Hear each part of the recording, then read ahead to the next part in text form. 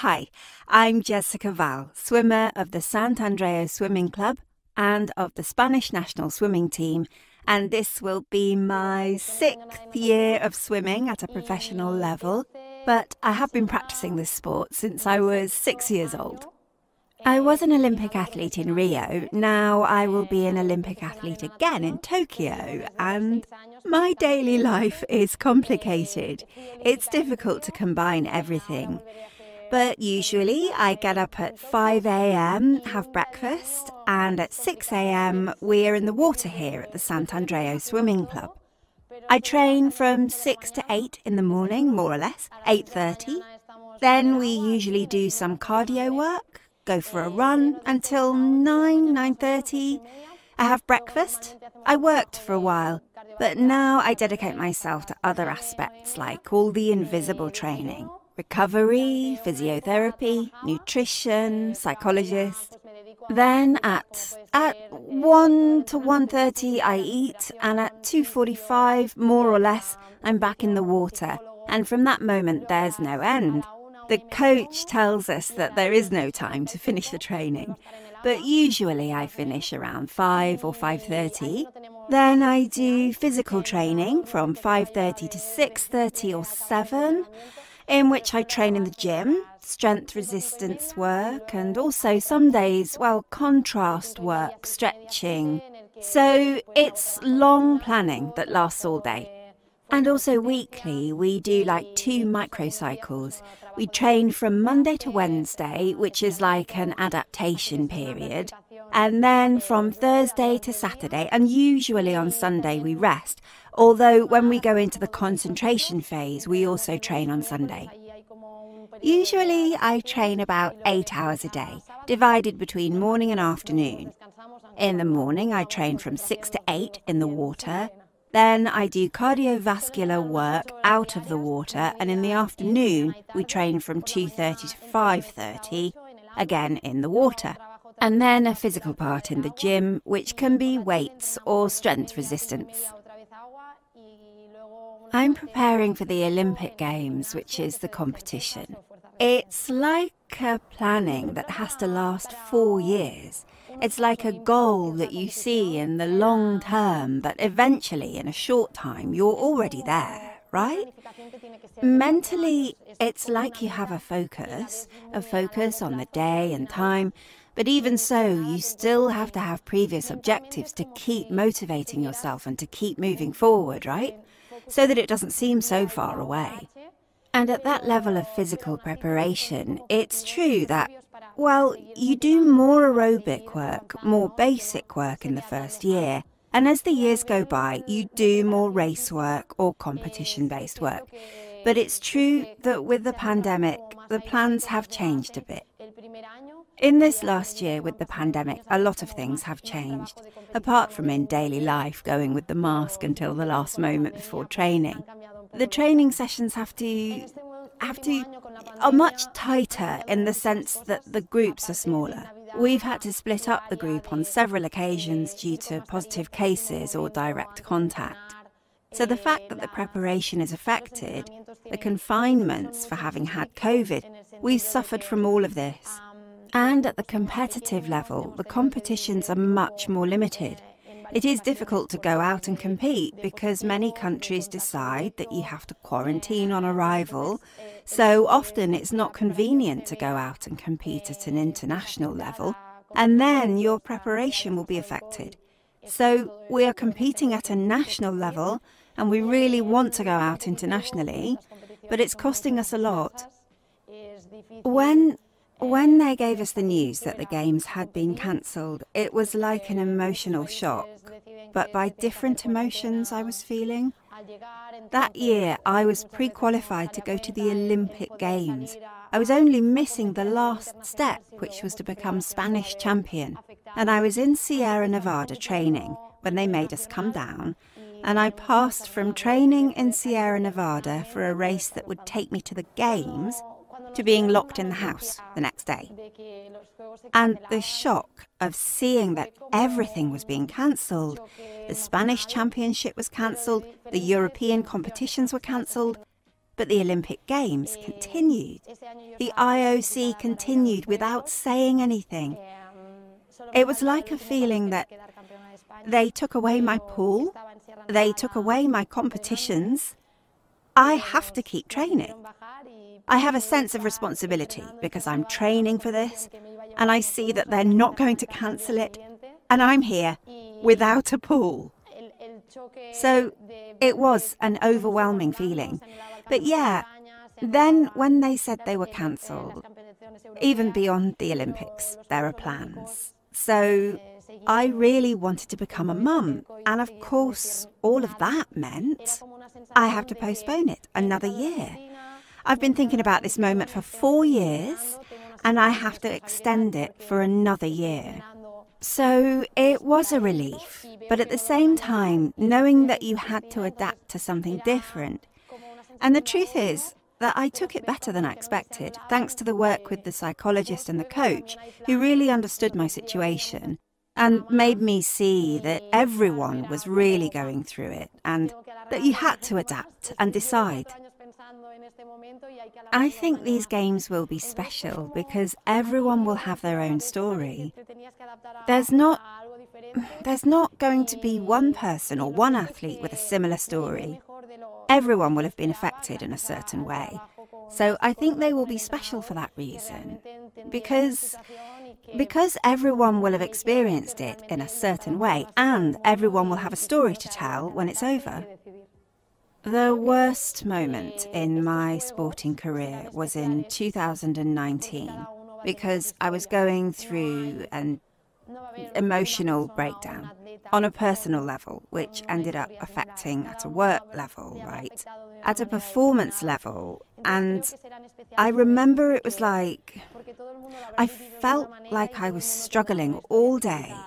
And when the competition came, which was when I had to struggle, it was like I struggled too much, right? And I wanted to have fun and not, well, not push myself to the maximum. When when it happened to me, I was like I felt frustrated every time they pushed me to give my best because I wasn't able to give my 100%. It was something that I really worked on a lot during 2019, at the end of 2019. And I can tell you for sure that it's like there's a moment when your head makes a click. Of course, you go through it, but there's a day when you wake up and you say, That's it. I'm done. I'm done fighting. And when I have to fight, it's in my day to day, at the level of training, but also in giving my all when it comes to competing. I think that's also made me appreciate now when I achieve results, because I know where I'm coming from, and sometimes you lose a bit of perspective when you get into the wheel of, well, of self demand, of wanting more, demanding more Sometimes you have to get out a little bit and see where you came from and value it. I think that the role of women has changed on a social level, and we, the women, have our professional careers, but we also want to be mothers, just like fathers. But it's true that it takes nine months, and we go through a physical change for that. So we have to plan now when we can be mothers knowing that it is something difficult to do. You don't know exactly when you are going to be able to do it. But I think we need more help at the level of, at a work level, uh, but also at the level of sport. I think there are few athletes who, after being a mother, can reach the highest performances. I think there are also few models and the fact that there are few models means that you don't even think about it and you say, either I'm a mother or I'm an athlete, right? I would like to be a mother and go back to swimming. But I don't know if I will be able to do it because often I'm away from home for many weeks. I don't know if I will have help to bring my baby, if I can bring someone to take care of my baby while I train. I think these are new problems that we women are facing now. And yes, there is a willingness or predisposition to solve them, but I think we have to raise our voices and at least say what problems we are encountering. For example, now I have to plan when to become a mother, but an athlete who is a man doesn't. Some of them have become fathers this Olympic year and nothing has changed for them, right? But me? I undergo a physical change, so I have to. I have to plan for it. But it's true that regarding this, there is an athlete, Ona Carbonell, who is trying right now, and she is a great model to me. If she is able to do it, I will also try. I don't have great models, but I could say one name, which is Rafa Nadal, for all the time he has been at the top. I think it's difficult to get to the top, but more difficult is to stay there. So I think that in that sense, he is a great reference for Spanish sports and for world sports. And in the case of swimming, there is a swimmer, Katinka Hosszu, who has changed the vision of swimming a little bit. She is trying to professionalize it, which is difficult for swimmers, and we don't, at the moment, we don't. We don't have that. And in that sense, I think she has opened up many paths, and that's why she is a great reference point. If I think about, well, all the seasons that have gone by, perhaps the biggest success I have achieved was in 2015 with the bronze medal in Kazan. But I think in the end, all in all the seasons, I achieved something or some goal that I'd set for myself, right? In this case, well, Kazan getting the medal, it was in 2015. In 2016, well, getting to swim my first Olympic Games. In 2017, I was able to make two finals in a world championship, both in the 100 and 200 breaststroke, which I'd never achieved before. In 2017, I was the European champion. So I think I didn't have one great season, but I think that something that defines me is to be constant and have, well, not great successes, but few and continuous ones.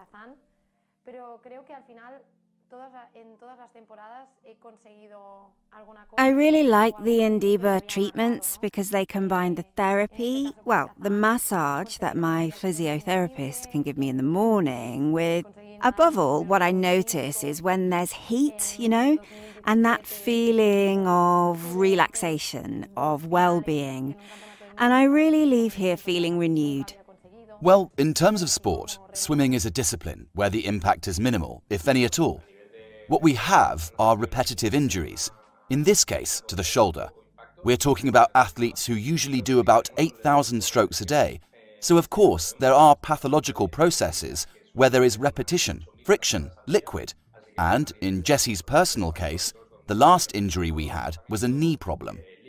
A mix between the dry sport, which she does to prepare herself, like running and so on, and her discipline, which is breaststroke, also means that there are times when the knee is more involved. Well, I personally think that physiotherapy really increases an athlete's performance, simply because it's like a way, as we say with Ruska, of making a pit stop. And it's like it gets me ready to continue training during the week, to be at my best the next day. In the end, it's not that it makes me faster, but it allows me to train better the next day and it allows me to prevent injuries and also to work better on my strength. But really, and really, it's something that I've understood over time with age, right?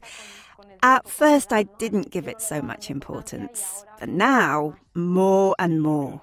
Yes, in the end, I think that both are important in the prevention work as the treatment because you are not patients to whom we can say, well, now rest 24 to 48 hours. But the treatment is such that the same afternoon or the next day, you can come back to be again at your best. And so in the end, it is almost mandatory, no? To make a pit stop, no? Like you said, the role I have for the Olympic Games started in 2016, when Jessie finished the Games. Since then, we started preparing for her Tokyo Olympic Games. So we have been preparing for five years, and with a role that we worked every week, in every competition, and that has been my role for the moment. Whatever the swimmers need before the Games, I will be more than ready to help them, and if the Federation, with whom I have already worked, wants to count on me, it will always be a pleasure for me to accompany them. Pleasure for me to accompany them. I think it's important, and many times it stays a little. It doesn't come to light.